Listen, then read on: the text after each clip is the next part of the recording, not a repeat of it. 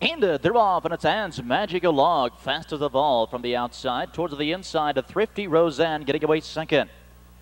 Early third is Classy Candy to the outside, and circling fourth comes Amalusta off the rail. Five barbs by line.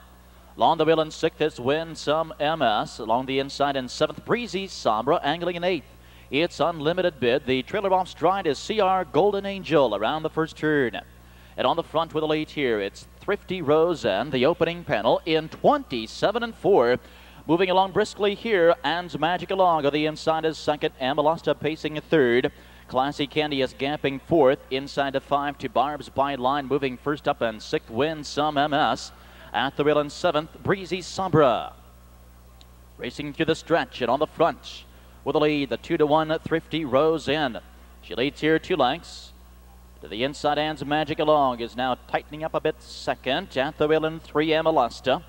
Half in 58 and one. Making the turn to the back stretch, and here comes Winsome MS. Still advancing on the outside, picking off this field one by one. She's now fourth. And Classy Candy comes to the outside, but can't keep up with that cover five.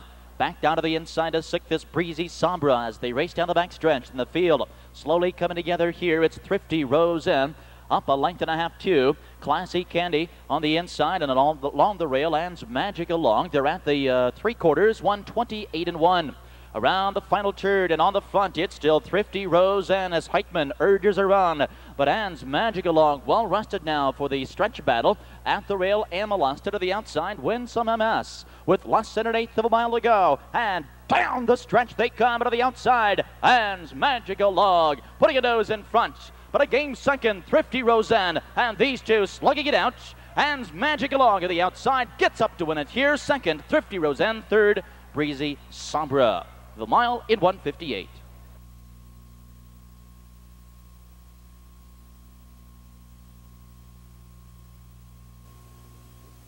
Trackside, the unofficial winner this afternoon's first race, number seven, Anne's Magical Laag.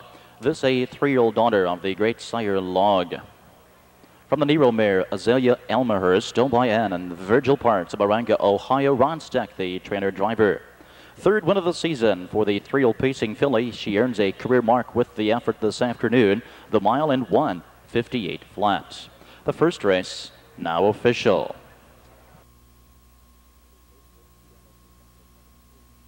The first race, $2 perfecta, 7-3, $26.60.